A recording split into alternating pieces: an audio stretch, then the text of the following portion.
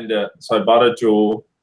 Uh, the Juul packs lasted me about two hours a piece, which I was like, oh shit. And then so the math on that would be like uh, ten dollars a day habit on a Juul. So I was very happy to be vaping. But what I saw is like, okay, I'm not the only one that's going to be like, this shit is ridiculously expensive to vape the Juul, right?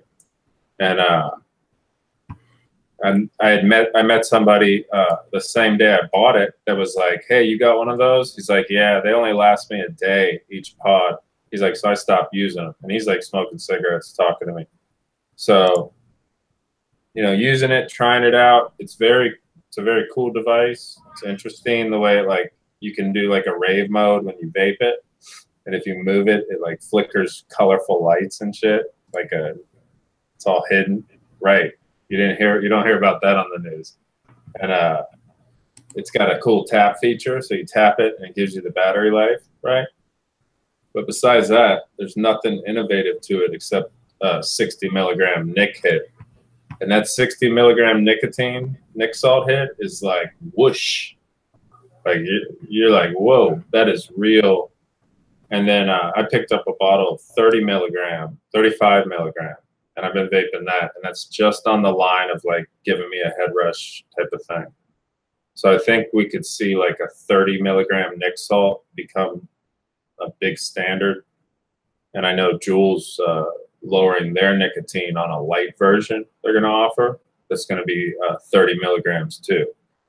So in your nicotine mixing down the road, I think 30 milligram nic salt may become a real popular level. I'm burned out on pods, man. I fuck with some pod recipes recipes for a client, and now I just don't want to touch them anymore. Like I get their convenience for people, but I, mixing for them is like so brain dead and boring. Yeah, I agree. It really felt like uh, muting my love for fl- flavoring and mixing and stuff during the month and a half that I was testing. I was like, God, this shit's so simple and dumb. Like you, you only get like one tenth of the flavor that you can get on like an RDA or whatever. You can't do anything like complex, right? Because it just gets lost in translation. Like it just doesn't come through because of that overall loss. Like it's just a, they're ter- they're inferior flavor delivery devices overall. I mean, they're good if you want to just want a quick nic rush and you don't want to smoke or whatever. I'm all I'm all about that. But mixing for them is pretty pretty boring.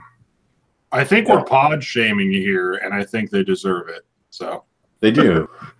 Dude, Juul has like half the entire vaping market. So they're gonna they're gonna get everybody in the market, like into the market, because it's so it's so much like a cigarette. You can walk out of 7-Eleven, it's charged, and you're vaping, and I love that about it, right? So it's so it's so innovative that you can like accidentally become a vaper, right? Well, the other part of it is that you're going to hit that money you know, the same thing we ran into when we were vape shop people when we were is like this costs too much money. Well, that's going to bring a whole wave of people from the Juul market. So I like it because it's it's gonna it's a real easy way to convert cigarette smokers and get them vaping and bring them down the road to you know what we're doing.